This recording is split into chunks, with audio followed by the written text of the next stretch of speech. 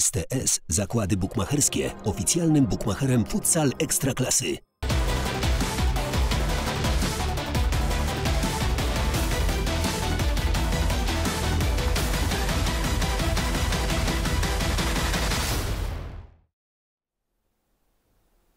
Dominika Morys, dzień dobry, witam i zapraszam na magazyn Futsal Ekstraklasy. Starcie Gatty z rekordem zapowiadano jako hit 18 kolejki. Bielszczanie od prawie dwóch lat nie wygrali ligowego meczu w Zduńskiej Woli. Kocury po dobrym początku drugiej rundy wspięły się na drugie miejsce w tabeli i rozbudziły nadzieję kibiców na medal. Ligowy klasyk przyciągnął na trybuny w Zduńskiej Woli komplet kibiców. Starcie lidera z wiceliderem dostarczyło kibicom sporo emocji, a wynik był sprawą otwartą aż do końcowej syreny. Obydwa zespoły w pierwszej odsłonie sporą uwagę przykładały do gry defensywnej. Bartłomiej Nawrat regularnie bronił strzały z dystansu oddawane przez Wiktora Krawcowa i Michała Marciniaka. Po drugiej stronie parkietu sporo pracy miał Dariusz Słowiński, którego często niepokoili Łukasz Biel oraz Artur Popławski. Sporo strzałów blokowali zawodnicy Gatty, którzy w defensywie grali ze sporym poświęceniem. Świata. Budniak postanowił uderzyć z dystansu, ale 15 minucie Marciniak kapitalnie przymierzył z dystansu, ale piłka poszybowała obok spojenia słupka z poprzeczką. myli się Marciniak. Zamarł między słupkami nawrat. W 17 minucie piłka po strzale głową wyślizgnęła się z rąk Bartłomieja Nawrata, ale doświadczony golkiper naprawił w ostatniej chwili swój błąd. Aż uśmiechnął się pod nosem. Niektórzy kibice podnieśli ręce do góry w geście triumfu, ale nawrat Tuż przed przerwą Biel przejął piłkę w środkowej strefie, ale Popławski nie zdołał skutecznie zamknąć akcji. Akcja rekordu, czy będzie bramka? Nie ma gola! Wyśmienitej okazji nie wykorzystał teraz. e, Początek drugiej odsłony to dalsza część wymiany ciosów, choć na parkiecie zaczęła się zarysowywać lekka przewaga przyjezdnych. Coraz większe zagrożenie pod bramką miejscowych stwarzali Aleksander Bondar i Michał Marek. imponuje formą. Teraz okazja! Uderzył potężnie z prawej flanki Bondar, ale zabrakło w tym W 34 minucie po kontrataku bliski otwarcia wyniku był wypożyczony z rekordu Jan Dudek, ale powstrzymał go Popławski. E, Mógł teraz urządzić swoich byłych kolegów z drużyny. Chwilę później Daniel Krawczyk oszukał na lewej flance defensorów i uderzeniem w same widły dał prowadzenie kocurom. Cyk i gol!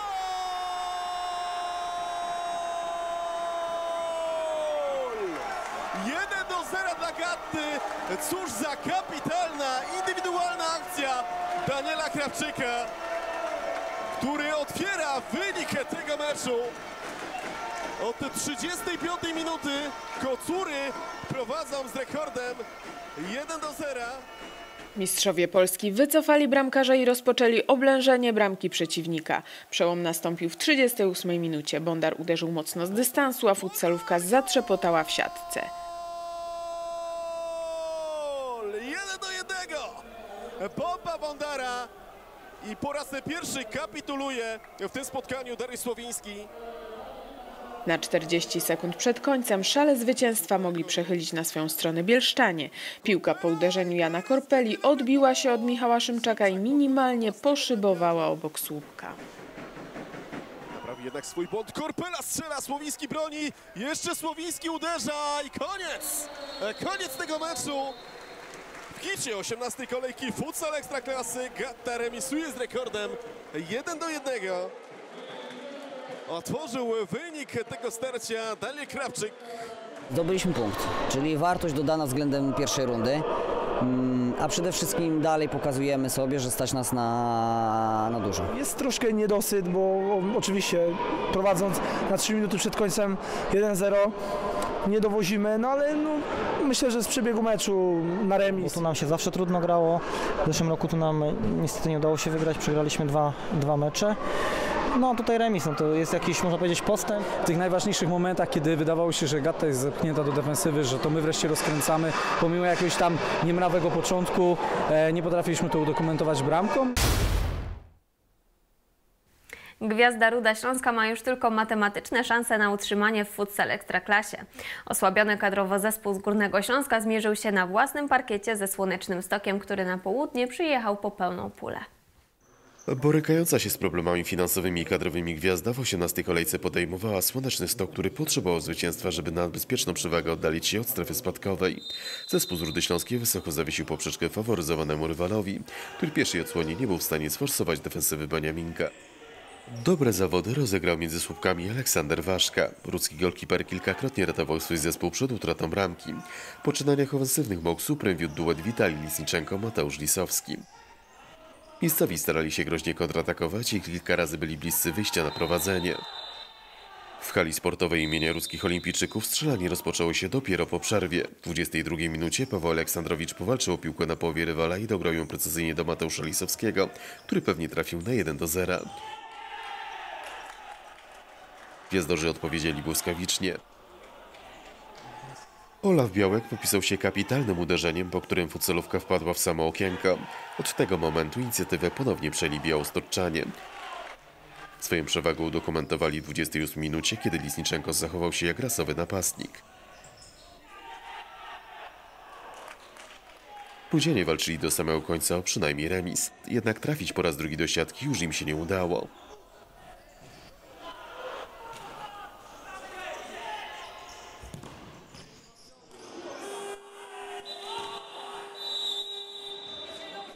Wynik boli, bo, bo nie byliśmy na pewno drużyną gorszą. Tworzyliśmy swoje sytuacje, e, straciliśmy dwie bramki, których mogliśmy tej, tych strat uniknąć. Zabrakło konsekwencji w ataku, w obronie w miarę dobrze to wyglądało.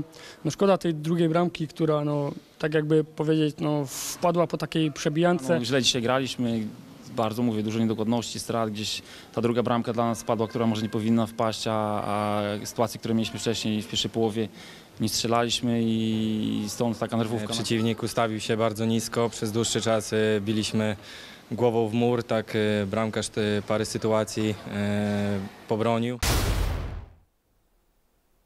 Uniwersytet Śląski po dotkliwej porażce w Bielsku-Białej czekała kolejna trudna potyczka. Do Katowic przyjechał Klirex, który w dwóch ostatnich kolejkach zdobył tylko jeden punkt. Kolejną odsłonę śląskich derbów oglądali kibice w Katowicach. Akademicy po blamarzu w cygańskim lesie musieli stawić czoło Klirexowi. Od początku na parkiecie więcej do powiedzenia mieli chorzowianie. Kilkakrotnie musiał się wykazać swoim bramkarskim kunsztem w pierwszych minutach Bartłomiej Krzywicki. Blok defensywny gospodarzy padł po raz pierwszy w 14 minucie. Przemysław Dewódzki dograł piłkę do Sebastiana Leszczaka, a ten nie zmarnował okazji i pewnie otworzył wynik.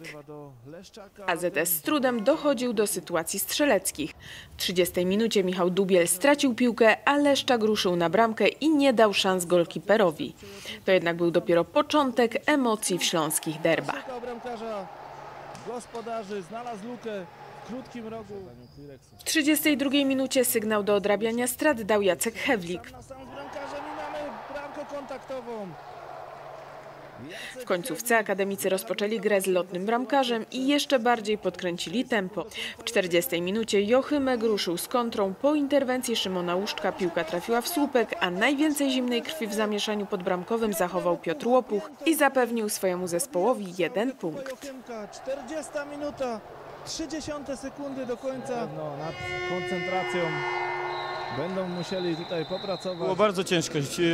No, ten wynik siedział nam w głowach. Widać to było przez cały tydzień, że e, chłopaki to przeżywają, ale dobrze, że przełożyli to na większe zaangażowanie. Jak szliśmy na 2-1, to wiadomo było, że nerwowa końcówka. Klirex szczególnie w ostatnich chyba trzech meczach tracił punkty w końcówkach, dlatego tam upatrywaliśmy naszą szansę i udało się. Zostaliśmy od jakiegoś czasu frajerami roku, tak? Bo, bo to, co się dzieje e, w końcówkach naszych meczy, to, to się nie dzieje na poziomie, nie wiem, U8, U6, a, a dzieje się w dorosłych e, futsal ekstraklasie. Uciekają nam punkty, uciekają nam e, medale, a, a, a to zamiast jakaś poprawa być, to, to są te same błędy powtarzamy, te same demony wracają. No, nie wiem, nie wiem do tej pory co się stało. Do arcyciekawej potyczki doszło w Wielczu-Laskowicach. Zespół Akane Orła zmierzył się z rewelacyjnym Beniaminkiem z Lubawy. Konstrakt w przypadku wygranej na Dolnym Śląsku i potnięciu rywali mógł powrócić na fotel wicelidera. Drużyna Kane Orła tylko raz w tym sezonie schodziła z własnego parkietu pokonana. Jednak Konstrakt jechał na Dolny Śląsk zgarnąć komplet punktów. Przyjezdni dosyć szybko zaczęli wcielać swój misterny plan w życie. Wojskowy zegar wskazywał ósmą minutę, kiedy to Paweł Koniecki przeprowadził samotny rajd prawą flanką i mocnym uderzeniem zmusił do kapitulacji Macieja Foltyna. Jeszcze większa konsternacja zapanowała na trybunach kilkadziesiąt sekund później. Koronkową akcję wykończył płaskim strzałem Bartłomiej Piórkowski i zespół z Lubawy prowadził już 2 do 0. Trener Jesus Lopez Garcia wziął czas, naniósł niewielką korektę na ustawienie swojego zespołu i na efekty nie trzeba było długo czekać. W dziesiątej minucie Marcin Firańczyk odnalazł polu karnym Kacpra Kędrę, który zdobył gola kontaktowego. Do końca pierwszej połowy trwała walka cios za cios, ale wynik aż do przerwy nie uległ zmianie. Dobrej okazji nie wykorzystał w 16 minucie Sebastian Grubalski. Drugą odsłonę lepiej rozpoczęli gospodarze. W 24 minucie precyzyjnie przymierzył z rzutu wolnego utalentowany Kacper Kendra i był remis. W 32 minucie znowu na prowadzenie wyszli konstruktorzy. Piłka zagrana w pole karne odbiła się od obrońcy i spadła pod nogi Pedro Pereira, który z bliska zaskoczył Foltyna. Gospodarze nie potrafili odpowiedzieć grając 5 na 5, więc w końcówce rozpoczęli grę z lotnym bramkarzem. Ale nawet strzał rozpaczy Maksyma Połtiaka nie przyniósł efektu. Bramkę. Szybczyński, no to nie wygląda na zagrożenie bramki. No i nie udało się gospodarzom. Walczyli ofiarnie, walczyli o każdy centymetr tego parkietu przez całe spotkanie, ale nie o to do końca. Mocno sobie skomplikowaliśmy sytuację już na samym początku. Było 0 do 2 i musieliśmy gonić wynik. Konstrakt grał swoje. I gdzieś ta, ta liga dopiero nas znowu zweryfikuje, ale, ale widzę, że zespół się zaczyna cementować i wygrać tutaj w takich okolicznościach to na pewno duży kop na, na kolejne mecze. GSF Gliwice dzięki dobrej paście wypracował sobie sporą przewagę nad strefą spadkową. W 18 serii gier Beniaminek zmierzył się z nieobliczalną ekipą Red Dragons Pniewy. Kto okazał się lepszy? Strzeleckie popisy oglądali fani futsalu w Gliwicach. Pierwsza odsłona nie zapowiadała strzelaniny, bo pierwszy gol padł dopiero w ósmej minucie. Wynik otworzył Dominik Wil po kombinacyjnie rozegranym rzucie wolnym przez miejscowych. Czerwone smoki atakowały jeszcze przed przerwą, doprowadziły do remisu. W 17 minucie poważnie zakotłowały się pod gliwicką bramką i gospodarze popełnili szóste przewinienie. Do piłki podszedł niezawodny Mateusz Kostecki, nie dał żadnych szans bramkarzowi. Gospodarze ponownie wyszli na prowadzenie w 27 minucie. Robert Głaczak kropnął przed pola karnego i było 2 do 1. Jednak od czego przyjezdni mają w składzie Kosteckiego? W 29 minucie Super Sniper z zimną krwią wykończył kontratak i znowu był remis. Red Dragons z remisu nie cieszyli się jednak długo. Robert Głaczak przymierzył skutecznie i płasko spod linii bocznej, a futsolówka ku zaskoczeniu wielu zatrzepotała w siatce. W 31 minucie za drugą żółtą kartkę wyleciał z boiska Łukasz Błaszczyk, ale miejscowi nie wykorzystali okresu gry w przewadze. Jednak co się odwlecze, to nie uciecze. W 35 minucie Tomasz Żółtecki strzałem pod poprzeczkę trafił na 4 do 2.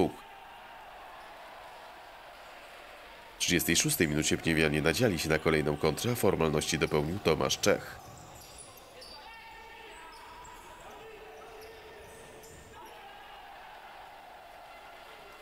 Goście musieli wycofać bramkarza, ale nic nie wskurali. Na domiar złego stracili jeszcze dwa gole. Łupem podzielili się Czech oraz Gładczak.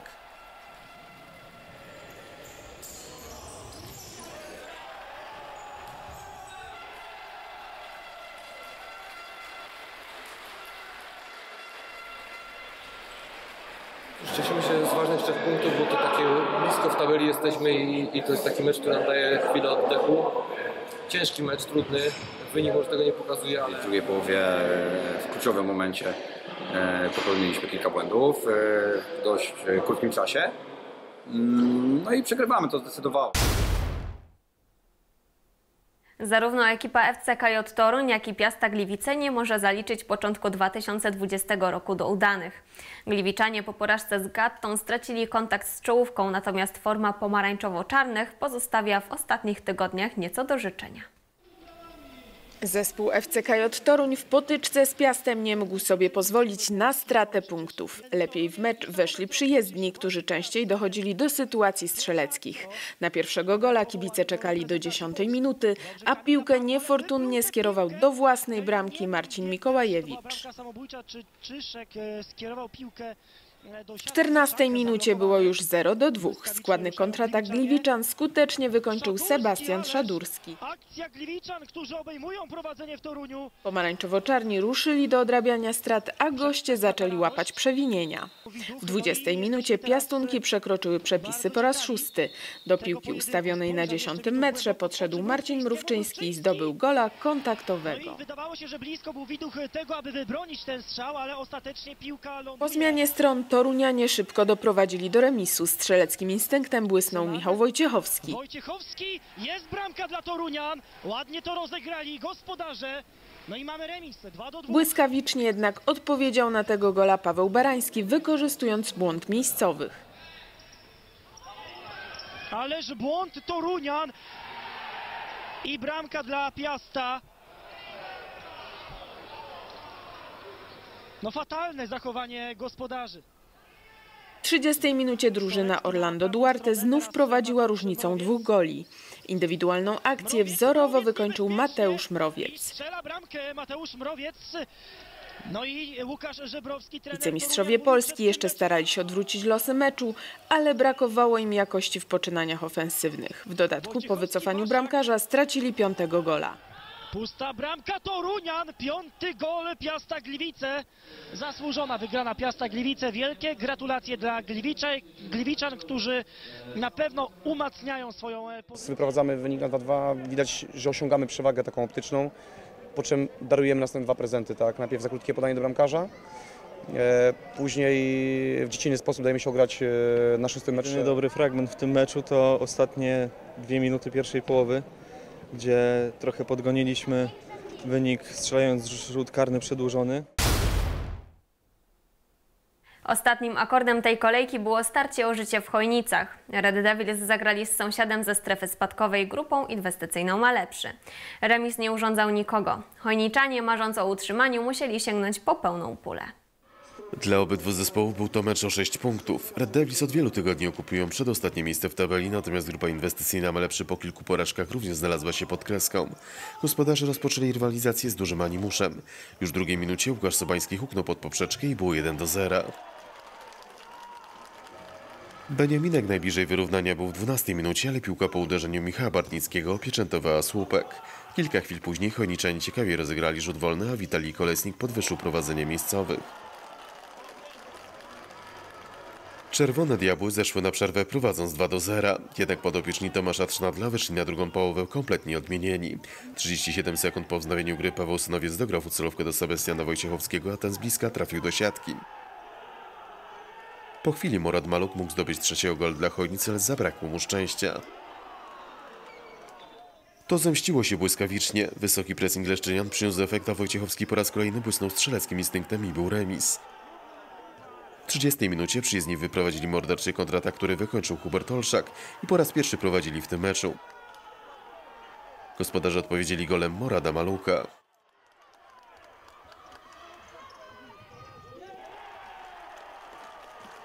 Kilkanaście sekund później Maluk mógł zdobyć swojego kolejnego gola, ale fantastyczną interwencją popisał się Długosz. W 38 minucie goście popełnili szósty faul. Przedłużonego rzutu karnego nie wykorzystał Sebastian Kartuszyński. Gdyby tego było mało, to w 39 minucie Mykita Starożuk ze Symulka obejrzał drugą żółtą kartkę.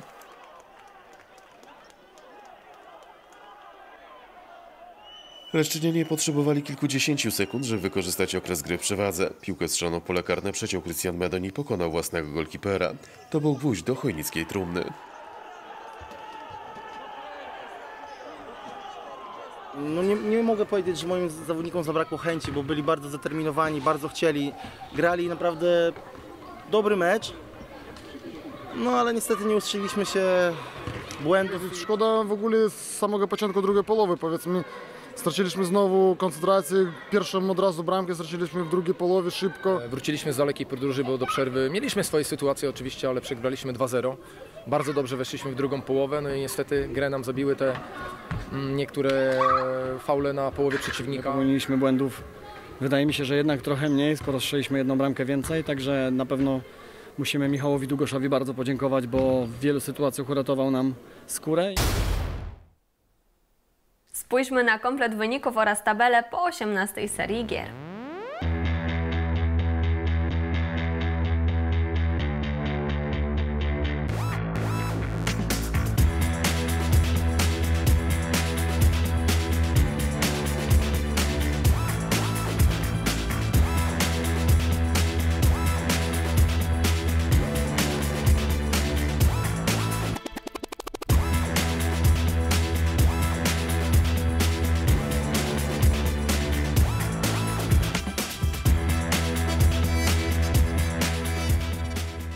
Czas na wybór gola kolejki. Kto tym razem znalazł się w gronie nominowanych? Teraz pozycjami zawodnicy Gaty. Krawczyk i gol!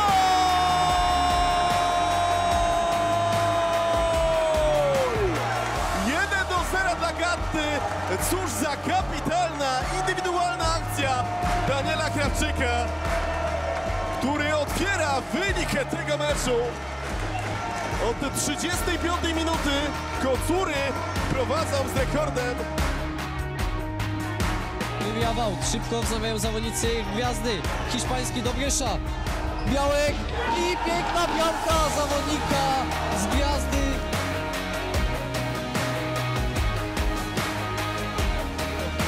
Przejąć 6 sekund do końca Jochemek mamy proszę Państwa bramkę, fantastyczne uderzenie Piotra Łopucha piętą.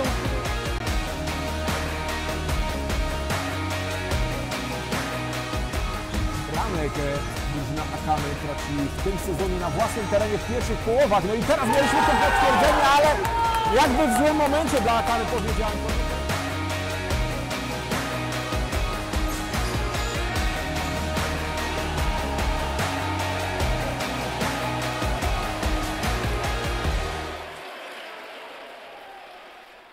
Głosować można na facebookowym fanpage'u Futsal Ekstraklasy. Na dziś to wszystko. Dziękuję bardzo za uwagę i do zobaczenia.